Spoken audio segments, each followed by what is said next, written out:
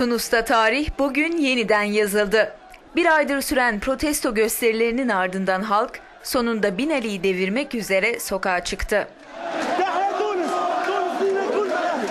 Cumhurbaşkanı Zeynel Abidin Binali'nin halka seslenerek daha fazla özgürlük vaat etmesine rağmen başkentte sokağa dökülen 5000 kişi devlet başkanının istifasını istedi.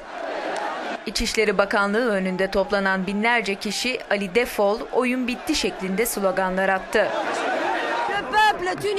Tunuslular sokaklarda ve korkmuyor. Onlar artık özgürlük, eşitlik ve adalet istiyor. l'égalité, la dignité.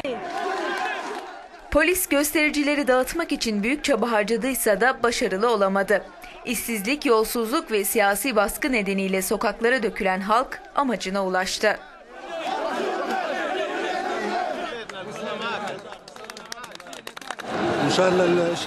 Biz sadece iş istemiyoruz. Aynı zamanda yolsuzlukların ve akrabalara yapılan iltimasın da son bulmasını istiyoruz.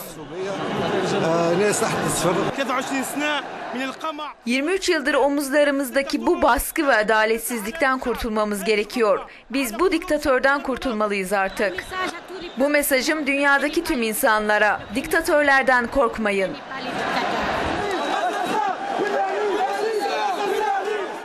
Olayların fitili ise geçtiğimiz Aralık'ta yoksulluğa ve fakirliğe karşı tepkisini göstermek isteyen 26 yaşındaki bir gencin kendini yakarak intihar etmesiyle başladı.